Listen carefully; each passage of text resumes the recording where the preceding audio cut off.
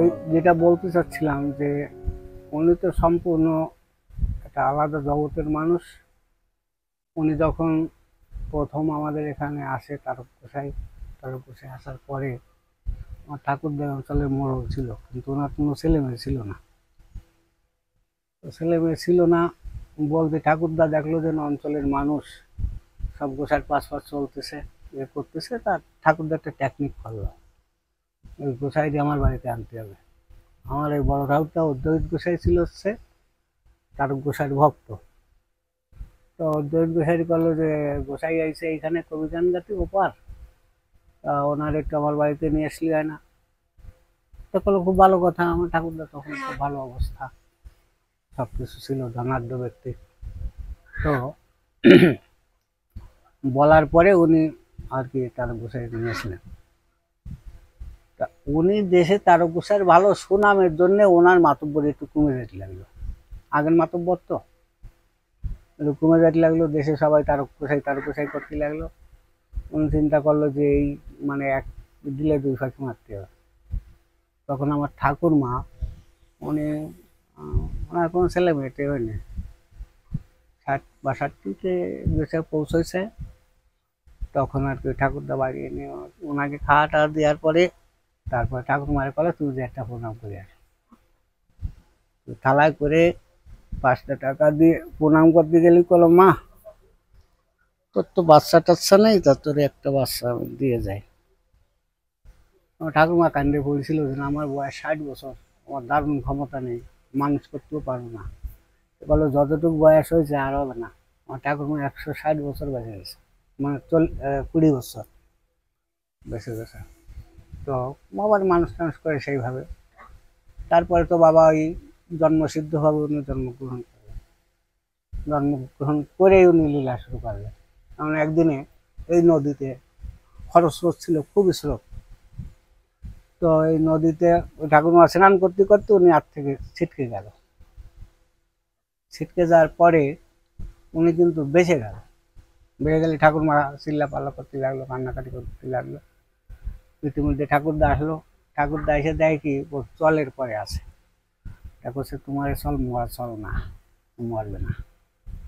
এই ওনার প্রথম লীলা শুরু হলো। গ্রামে মানুষ কলো না, ওই যে পাঁচো ফাঁসি তিফাই পাঁচো ফাঁসি তিফাইছে ওর একটা পাঁচো ফাঁসি একটা এইটি দিয়ে মোটামুটি ভালো এরপরের থেকে উনি জীবনে কোনো মানে ছোটবেলা থেকে উনি এ বাগানে, ও বাগানে, এখানে সেখানে থাকতো। এখানে সেখানে থাকতো ওনার সাধনা করতো, উনি বাচ্চাদের সাথে মেলা মিশতো না। ও হয়তো গান বাজনাটা নাহলে সেখানে গেলে মিশতো না হলে একা একা থাকতো, এক- একা থাকতো, এইভাবে জীবনটা চলেছে। তারপরে কিছুদিন গেল, কিছুদিন যাওয়ার পরে উনি বিভিন্ন জায়গায় ঘুরতে ঘুরতে লাগল।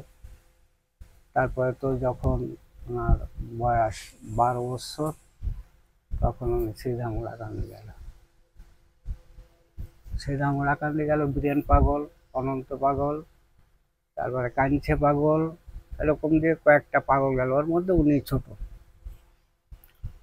উনি গেল ওখানে যে বিচরণ পাগল থেকে বলল কি যে পাগল, তুমি আইছো আমার তো গাছতলা রয়ে গেছে, এখন তুমি সেই গাছতলাটা গ্রহণ করো। গোলক পাগলের যে গাছতলায় পিছনে যেটা পাগলের গাছতলা। ওই সাড়ে ছয় না দিয়ে ওই জায়গা আমরা কিনে দিলাম তারপরে গুলচান ঠাকুরের ওখানে গেল, ওনার প্রভাব দেখল, প্রভাব দেখে গুলচান ঠাকুর ডাকলেন, পদ্মের মা বুড়ি ছিল ওখানে উপস্থিত, উনিও ছিলেন বিচরণ পাগল ছিলেন। থাকে ওনারে লাঠিমালা দান করে। লাঠিমালা দান করার পরে উনি বাড়িতে চলে আসে। বাড়িতে চলে আসার পরে বাড়ি এসে আড়ায় যায় চার বছর জঙ্গলে ছিল পড়া বাঁধা এখানে চার বছর ছিল, চার বছর পরে বাড়িতে ফিরে আসলো। ফিরে আসার পরে ওনার ওই প্রভাব দেখা দিল। মানে রে কয়, ওর গরু গনে এইটা করে, ওইটা করে। পরবর্তীতে তাকে তাকে ওই বিবাহ দিলেন আমার সে গাজীখালিতে আমার সাদা ভাই। অর্জুন গোসাই, উনি খুব গোসাই মানুষ ছিল। তা বাবা পাগল বিদায় মেয়ে দেবে না। তা গোসাই কল কি আমি দেবো কারণ রামচরণের ছেলে, ওরা বংশীয় মানুষ। ও পাগল হলেও যাতে ঠিক আছে, আমি তো তোরা না ছিল আমি চিনিছি। তারপরে মার বিয়েটি হলো। বিয়েটি হওয়ার পরে এক বছর, দুই বছর পরে যেয়ে রমণীকর্তার বাড়ি যে সত্তা প্রাপ্ত হলো। ওইখানে যে রমণীকর্তার যে সত্তাটা ছিল, ওই সত্তাটা উনি পালেন। পাওয়ার পরে ওনার প্রভাব তো বিস্তার হলো চারিদিকে। সবদিকে বিস্তার লাগল তারপরে ওনার প্রচারের দায়িত্ব সিধা মোড়াকান্দিতে গেল। গেলে প্রচারের দায়িত্ব দায়িত্ব দিয়ে দিলেন। সেইভাবে উনি প্রচার প্রচার করলেন। এরপর তো লীলা এসে যাবে। তারপর উনি যে লীলাগুলো করেছে, এইগুলো তার পরবর্তী আসবে। হয়তো সোনার মূলি বীর আর এদিকে ওনার যখন প্রভাবিত হলো, তখন দেশের মানুষ সব এক হয়ে লাগল এরকমই হয়েছে। বহু কথা বহু কথা সংক্ষিপ্ত কি করে বলব? যেমন এইখানে এই সতীশ গোলদার ছিল ছিল ডাকাত, এখনও আছে তারা। তো এই সতীশ গোলদার দীক্ষা নেবে, তো বাসার গোসাই আইছিল।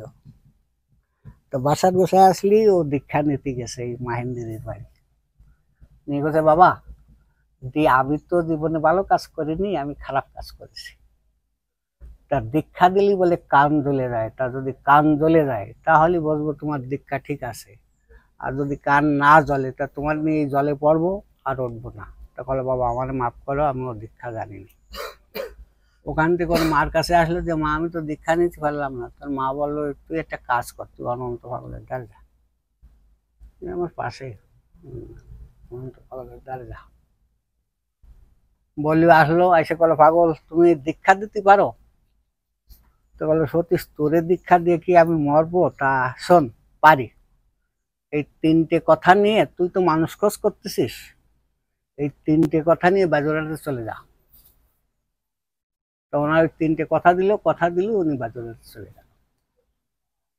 বাজারে যাওয়ার পরে ওখানে বলল কি, তুই জব করে তুই চোখ বুঝে দাঁড়াবি, তারপরে দুই মিনিট পরে তুই চোখ খুলবি।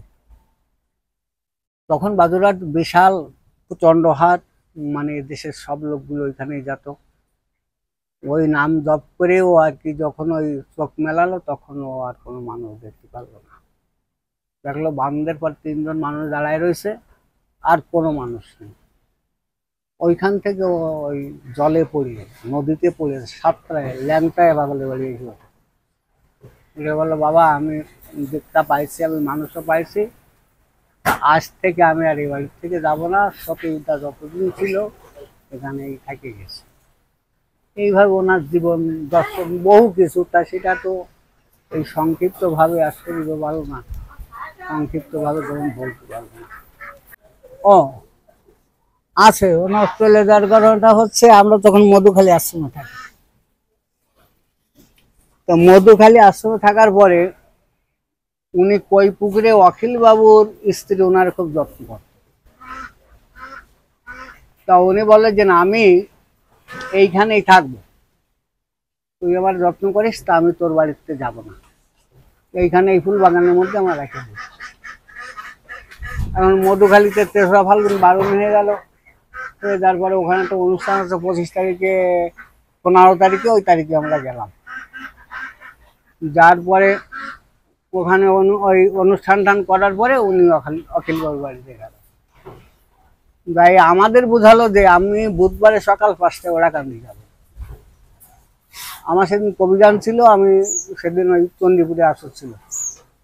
আমি সাড়ে পাঁচটায় ওরাকান্দি যাব। তোরা ওই আমার বলল যে, তুই, তুমি কবি গিয়ে আসো আর মাটা এখানে থাক, আমি ভোর পাঁচটায় রওনা করে চলে যাব। আর রাত্রে পারলে আমি গান শুনতে যাব। কিন্তু ওখানে যাওয়ার পরে উনি ওই ঠিক ভোর পাঁচটায়, সাড়ে পাঁচটায় উনি ওখান থেকে রওনা করেন উঠে গেলেন, উঠে গেলে আমি সংবাদ পালাম, গেলাম। সংবাদ পাওয়ার পরে আরেকটা সংবাদ হলো আমাদের এখানে বিলাস নাম করে একটা লোক আছে, আমার গ্রামে ও ডাকাত পানার লোক ছিল, পাগলের সাথে খুব ভালো সম্পর্ক ছিল। ওর সাথে দেখা হলো সেই মহিদারা এসে, উনি লঞ্চে নামলো এই পার, বিলাসের সাথে দেখা ওনার শ্বশুর ভাই তো বিলাস করল কি যে, দাদা, তুমি, তাহলে আমি একটু নাম যোগ্য শুনতে আইছি। তুইও আয়। এখন বিলাস করল আমি তো শ্বশুর বাড়ি আইছি, তা তুমি যাইতে লাগো, আমি আসতেছি। শুনে উনি আসলেন। ওই ইসে নামযোগ্য শোনার জন্য গোনা আসলেন। কিছু পরে বিলাস আসলো। এসে শুনে কি অনন্ত পাগল নেই উনি উঠে গেছে। শুনে তো কান্নাকাটি করতে লাগল, বাড়ি আসলো। তারপরে জীবনে সে আর সংসার করেনি। এই লাল কাপড় পরে মালা টালা নিয়ে সে একদম সাধু হয়ে গেছিল যে আমি পাগলের দর্শন পাইছি যখন। আমার ডাকে গেছে, আমি আর সংসার পারব না। পাশে এখানে। এরকম হু বহু ঘটনা আছে চার বছর ছিল। ওই বারো বছরের লাঠির মালা পেয়ে উনি চলে আসলেন। এর আগেও বহু লীলা আছে ওনার। বহু লীলা। মানে উনি যে সময় সিধা মোরাকান্দি যায় ওরাকান্দি যাওয়ার পথেই আহ, চালনা জয়পুর মির্জাপুর কালিয়ে দিয়ে যায়। এই সব জায়গায় লীলা করতে করতে গেছে এই জন্য এটা এত সংক্ষিপ্ত করে বলা যাবে না। মানে একটা প্রশ্ন থাকতে পারে, কিন্তু এর কোনো প্রশ্ন নেই। মানে যেখানে বলা হবে সেইটা সত্য। যেখানে বলা হবে সেইখানে সত্য। যার মানে অনেক সময় অনেক কথা বলতে গেলে দেখা যায় গুরু পেশায় বলতে হয় কিন্তু ওনার ব্যাপারটা তা না। উনি ডাইরেক্ট এই খালে বাসত মানে উনি আসন দিত। হাজার হাজার লোক দুই পার দিয়ে দেখেছে। উনি এই পার হাইটে, ওই পার হাইটে চলে গেছে, হাজার হাজার লোকে দেখেছে, আমার অঞ্চলের লোকে দেখেছে। তাহলে ওনার জিনিসটা সম্পূর্ণ বাস্তব। মানে অবাস্তব বলে ওনার কোনো ব্যাপার নেই, আমি আমি দেখিনি আর। এই আমার বাড়ি ভাষায় অনিল ডাক্তার একজনে হারাইছে হচ্ছে টাকা। টাকা হারালি বলতেছে কি, বাবার দ্বারা আইছে আজকে বাবা, আমি তো ফার্মের ব্যবসা করি আমার একটা ইয়ে ছিল, তা হারাই গেছে। টাকার ক্ষতি। টাকার ক্ষতি গেছে, আমি কি আর অনিল ডাক্তারের যে দুই ফোঁটা ওষুধ খেয়ে যা। যা কইছে যা কইছে। অনিল কইছে যে আমার দুই ফোঁটা ওষুধ দাও ডাক্তার তো ওষুধ তো দেবো। তা কিসের জন্য? তা তা তো আমি করতে পারিনি আমার আড়াইছে টাহা অনন্ত পাগলের দ্বারে গাইলাম তা কয়ে দিছে, অনিল, নিরন্তে দুই ফোঁটা ওষুধ খেয়ে যাও। তাই খাতি আইছি। তো কলো রাও ওষুধ দোকানি পরে ঘরে যে থলেটা ভরে গেছে, এইটা কি তোমার নাই? তা করছে হয়। এই তো আবার থলে। তো কলো নেও এই, আর আ করো দুই ফোঁটা ওষুধ দিয়ে। এই হচ্ছে অনন্ত পাগলের বাস্তবতা। এখানে একটুও কোনো ই নেই, সব আমার অঞ্চল দিয়ে হচ্ছে। এবং এই দাঁত অঞ্চলে যত জায়গায় আছে, উনি যে সমস্ত লীলা করেছে, এগুলো বাস্তবের অবাস্তব কিছু নেই। এই জন্যই সংক্ষিপ্ত করে তো কিছু বলা যাবে না। এর রয়েছে মানে ওনার জীবন চরিত্র রয়েছে, ওনার আধ্যাত্ম সাধনা রয়েছে, ওনার চলার পথে গুরুচান ঠাকুর কী কী বাণীগুলো দিচ্ছে, সেই বাণীগুলো রয়ে গেছে। এগুলো তো পর পর পর পর, এ তো একটা দিনে হবে না, আর এত সংক্ষিপ্ত করে লেখাও যাবে না। আমি তো ওই এটা লিখতে চাই ঠিকই সঙ্গে লিখতে অনেক সময় ভুল হচ্ছে, দেখেছি, সেগুলো আমি কমপ্লিট করে দিয়েছি। যদিও তাতেও ভুল থেকে। যাচ্ছে মানে বাস্তবতার একটা রূপ আছে না সেইটা হচ্ছে খুব কঠিন ব্যাপার। আমি নিজে লিখলে ভালো হতো কিন্তু সেইটা হচ্ছে কি আমি সময় দিতে পারিনি। পাগলের জীবনে কালী পাগল না সন্ন্যাসী গোসাই কালী পাগল। ও ওই কালীপদটা। নাম হচ্ছে কৃষাণু বিশ্বাস। আমি ধামে থাকি, পাগলের ধাম। চৈদার এবং একজন মানে অনন্ত পাগলের দাস হিসেবে নিজেরে দেখি, যদিও পাগলের নাতি সম্পর্কে। আর তেমন কিছু বলার নেই, আপনি, এটা হচ্ছে গুজরাট ঠাকুরের লাঠি এবং মালা। এটা আমি ঠাকুমার কাছ থেকে রাখিছি, উনি উঠে যাওয়ার আগে আমারে দিয়ে গেছিল। যে হচ্ছে গুজরাট ঠাকুরের লাঠি এবং মালা যেটা অনন্ত পাগল। সীতাম ওরাখান্ডি যে প্রাপ্তি হয়েছিল আহ, পুজো অর্চনা মা আছে বা আমিও করি। এই হচ্ছে বর্তমান পরিস্থিতি বাবা আছে। বাবা বলেছে যে লাঠিমালা কোনো কখনো সময় মানে হাতে নিয়ে চলাফেরা করবে না এটা হচ্ছে মন্দিরে থাকার জন্য। যে তুমি নাতি অর্থাৎ তার জন্য তুমি গলায় নিয়ে চলবা বা হাতে নিয়ে চলবা এরকম কোনো অবস্থায় তুমি যাবা না। যেটা পাগলের গলায় ছিল বা হাতে ছিল, সেই শক্তি তোমার নেই যে সেইটা তুমি ধারণ করবা। সেই জন্য আমরা কেউ এটাই করি না, ওই মন্দিরে এখন দরজা নেই সেই কারণে ঘরে রাখা পুজো অর্চনার জন্য বাড়িতেই রাখি। শ্রীদামে বছরে একবার শ্রীদামে নিয়ে যাই। ওই সময় যাত্রা তার কাছে নিয়ে যে তারে দেখায় নিয়ে আসা যে আপনার জিনিস পুজো আচ্ছি পাচ্ছে সঠিকভাবে, এইটি এই উদ্দেশ্য। এই ছাড়া তেমন কোনো উদ্দেশ্য নেই। তার বংশধর হিসেবে আমার যে দায়িত্ব, আমি সেটি সঠিকভাবে পালন করার চেষ্টা করি। জয় হরিবল গৌর হরিবল ফাল্গুন মাসের তিন তারিখ অনুষ্ঠান। যত হরিভক্ত এবং মতুয়া ভক্তবৃন্দ আছেন, তারা সিদাম বেলাই ধাম, এটা হচ্ছে ব্যাকটমারি বেলাই রামপাল মোংলা রোড।